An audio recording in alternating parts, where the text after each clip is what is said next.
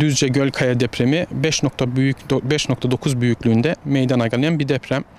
Ülkemizin genel durumunu dikkate aldığımız zaman çok sığ meydana gelen yaklaşık 10 kilometre derinliğindeki bir depremden bahsediyoruz. Ee, aktif e, süresi 15 saniye civarında. 15 saniye süren bu depremin e, etkilenme süresi de 4-5 saniye sürdüğünü görüyoruz kayıtlardan. E, herhangi bir yüzey kırığının oluşmadığı bir deprem.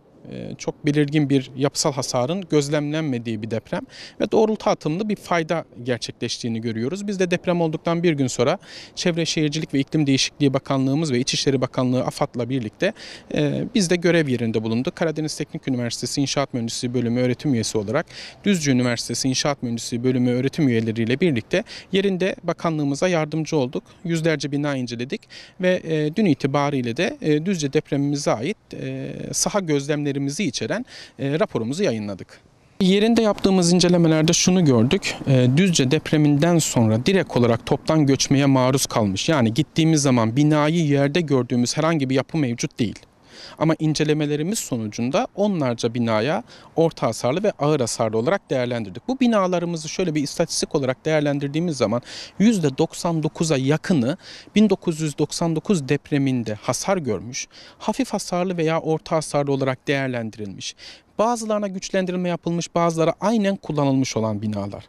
Fakat 99 Düzce depreminde bütün ilin %70'e yakın yapı stoğu yıkıldığından dolayı 99 depreminden sonra yapılan, inşa edilen binalarda hemen hemen yapısal hasar görmedik diyebiliriz. Sadece duvarlarda, yapısal olmayan elemanlarda hasarların olduğunu gördük. Aslında bu bize çok önemli bazı şeyleri ifade ediyor. Çünkü biliyorsunuz 2000'li yıllardan sonra ülkemizde yapı denetim kanunuyla birlikte ve aynı zamanda da hazır beton teknolojisiyle birlikte artık binaların inşasında yaptığımız bu hataların minimum seviyeye indiğini görüyoruz. Aslında bu Düzce'de görmüş olduğumuz bu manzara bizim için olası bir İstanbul depremi için sevindirici bir haber. Çünkü 2000'li yıllardan sonra ilk defa böyle bölge, ilk defa böyle bir depremi test ettiği için o tarihten sonra inşa edilmiş yapıların durumunun gayet iyi olduğunu fakat 99 öncesi yapımı bitmiş, halen yaşamaya devam eden yapılarda da çok hızlı bir kentsel dönüşüme gitmemiz gerektiğinin de tekrar altını çizmiş oluyor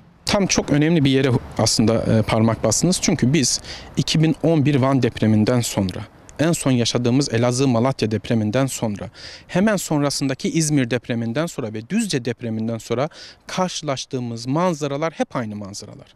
Şu bize gösteriyor ki belirli bir yapı denetim olmadan önce yani belirli bir tarihten önce yapılmış yapılarda bazı kusurlarımız var. Bu kusurların bazıları tasarım aşamasında, proje aşamasında, bazıları ise yapım aşamasında. Yapım aşamasında ne gibi problemler oluyor? Bir, projeye uyulmamış oluyor.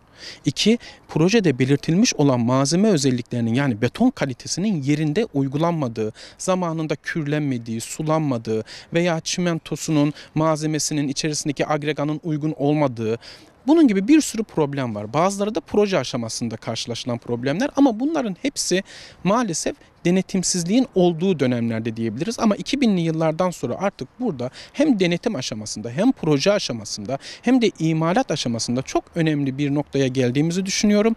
Bu problemlerin inşallah bu tarihten sonra olacak yeni binalarda yaşanmayacağını düşünüyorum. Fakat 99 öncesi depremlerde hangi ilimizde olursa olsun olası bir depremdeki bütün yapı stoğunun çok önemli bir risk altında olduğunu, bu nedenle de depremin şu an çok önemli derecede beklendiği İstanbul, İzmir, Bursa, Elazığ, Erzincan gibi aktif fayların olduğu ve büyük depremlerin e, beklendiği bu illerde öncelikli olarak 99 öncesi yapılmış binaların kentsel dönüşüme hızlı bir şekilde dönüştürülmesi veya mevcut durumlarının performanslarının yapılarak güçlendirilmesi gerektiğini bu durum bize tekrar göz önüne sermiş oldu, göstermiş oldu.